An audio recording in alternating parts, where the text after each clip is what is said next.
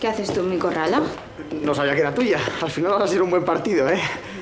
Marta, no te vayas, por favor. Que llevo toda la tarde esperando, no te vayas corriendo. No, sí, yo no me voy a ir corriendo porque resulta que yo vivo aquí. El que no entiendo qué hace aquí eres tú. Es que te tengo que decir una cosa muy importante que lo va a cambiar todo.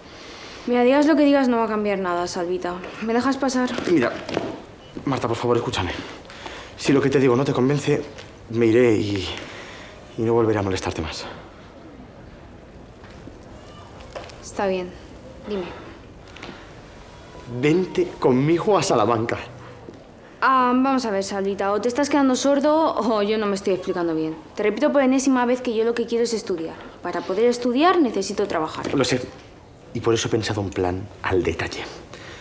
Por si no lo sabías, Salamanca es la capital de los estudiantes, así que tu primer problema estaría resuelto. Y el segundo también, porque podría ser mi ayudante en la librería. ¿Es o no es un plan perfecto? Lo sería si no fuese por un detalle. Que tu padre no iba a consentir, Salvita. Y no seré yo la que rompa con tu familia. Así que te he escuchado, pero nada ha cambiado. Buenas tardes. Pietro me dijo que tenía que tomar una decisión, que no se podía tener todo en la vida. Pero es que yo creo que sí, siempre y cuando tú me sigas queriendo. A ver, Salvita, yo te sigo queriendo, pero es que eso no es lo más importante.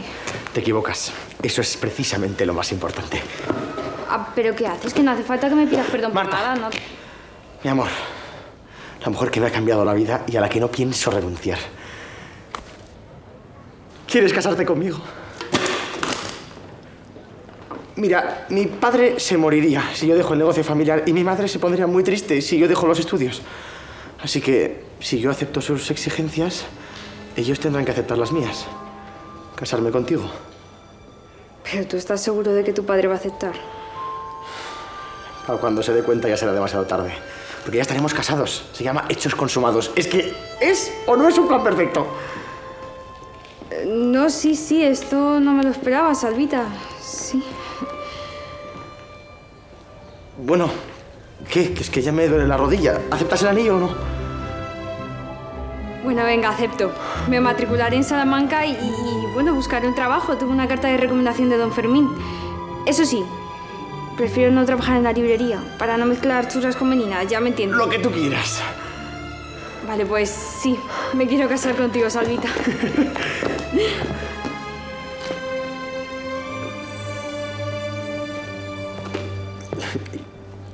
Eh, Perdona, es que no me sabía no. tu talla.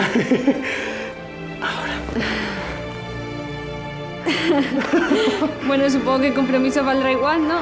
No iba a ser todo perfecto. Pues lo ha sido.